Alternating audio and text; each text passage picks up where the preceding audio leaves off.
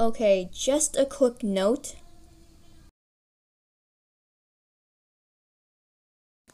I don't really like Dork Diaries anymore. Please don't kill me, Olivia.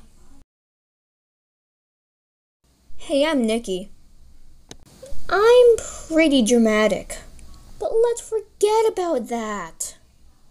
With the fact that I talk about Brandon's curly bangs. That didn't sound right. Too damn much.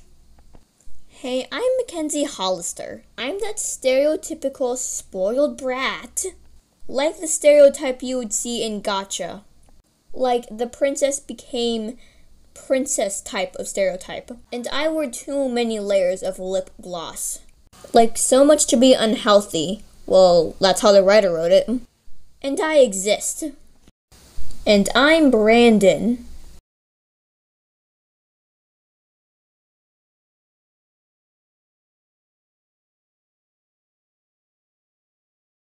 I have curly bangs and I'm wholesome. That's it. We're her, we're her crazy, crazy friends. Zoey is the best character and you can't change my mind. Oh no, a new school. Well, that how it freaking works, Nikki.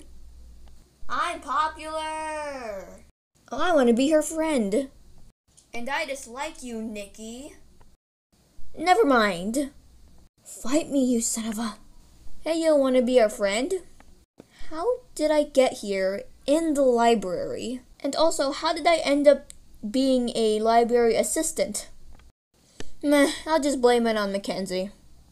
Days later in the cafeteria.